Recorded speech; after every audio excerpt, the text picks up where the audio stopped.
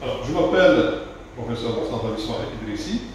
Je suis coordinateur de la licence d'excellence en génomique à la faculté des sciences de Rabat, au département de biologie de l'université Mohamed Alors, cette licence concerne les sciences génomiques. Alors, qu'est-ce que la génomique C'est la science qui étudie les génomes. Quand on parle des génomes, ça veut dire l'ensemble des gènes qui sont portés par les chromosomes. Alors, on distingue la génomique structurale et la génomique fonctionnelle. L'analyse de tous ces génomes, ça nécessite de nouvelles sciences telles que la bioinformatique. Ces sciences génomiques, elles concernent un large éventail d'activités humaines, aussi bien sur le plan académique que professionnel. L'objectif de cette formation, bien sûr, c'est de former des ressources humaines dans le pays besoin, donc pour cette nouvelle science. Donc ça, c'est l'objectif global. Parmi les, objectifs spécifiques, on peut distinguer un certain nombre, peut-être que bon, on peut fournir aux étudiants une formation scientifique avec une approche globale et multidisciplinaire, de familiariser les étudiants avec le développement des sciences génomiques, aussi bien à l'échelle nationale qu'à l'échelle internationale, puisqu'on va faire appel à des conférenciers qui vont venir d'un petit peu partout dans le monde, qui parlent bien sûr en anglais, de familiariser les étudiants avec les applications des sciences génomiques dans les sciences fondamentales, la biomédecine, l'écologie ou la biotechnologie, de développer chez les étudiants une conscience critique par rapport aux implications éthiques et sociales, bien sûr, que présente le développement des sciences génomiques, qui sont nouvelles, et de préparer, bien sûr, les étudiants les étudiants à entamer leur études supérieures dans différents domaines hein, qui couvrent les sciences génomiques. Alors, cette formation, elle se décline en plusieurs semestres, donc elle se fait sur trois années, donc en six semestres. Alors, les premiers, les deux premiers semestres, donc la première année, concernent des modules de base tels que la biochimie, la microbiologie, la biologie moléculaire, la biologie cellulaire.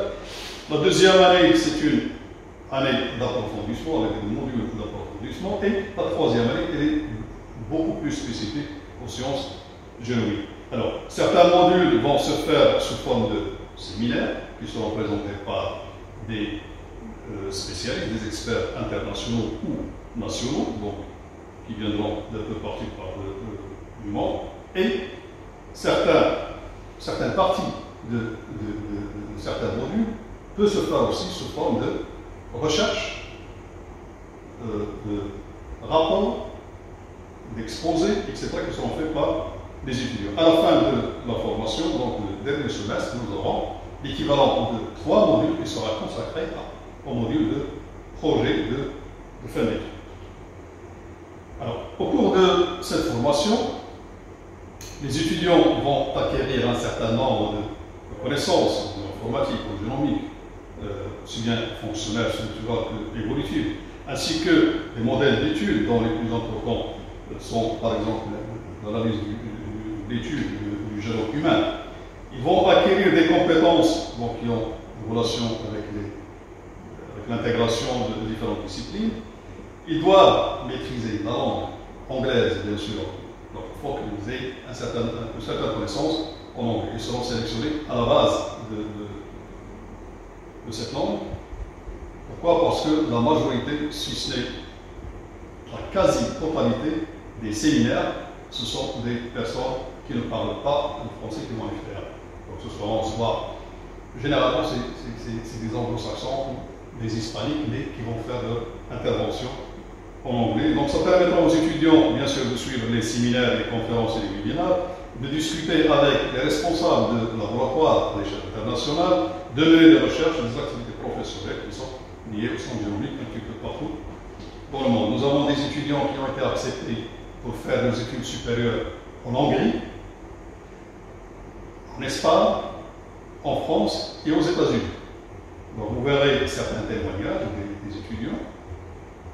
Donc les étudiants, au cours de cette formation, vont développer une vision critique éclairé sur les implications éthiques et sociales des sciences génomiques. Alors, en ce qui concerne les débouchés de la formation, les lauréats de cette formation, ils sont principalement destinés pour les études supérieures.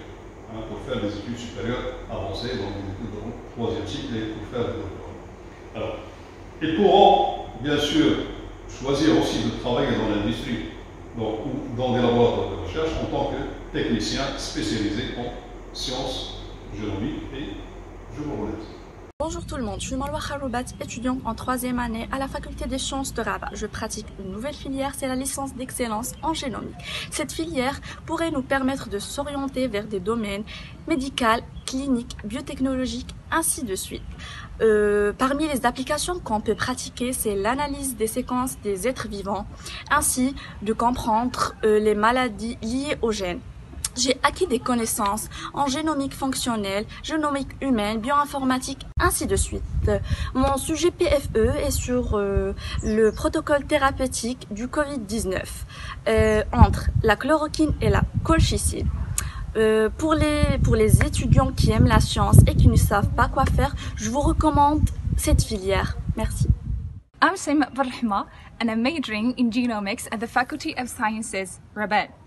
Genomics is such a revolution. It helps you understand why you are such a unique person, why you may look like like your father's uncle, and why some diseases run in your family, and more importantly, why paternity tests never reach 100%. How awesome it is, right? At least it was the case for me. It helped me understand why my grandpa couldn't recognize me at his 70s it turns out that he had Alzheimer's disease. That's why I chose to get my bachelor thesis at Alzheimer's disease. Basically, um, the implication of SORL1 gene at Alzheimer's disease. Genomics is such um, an awesome thing.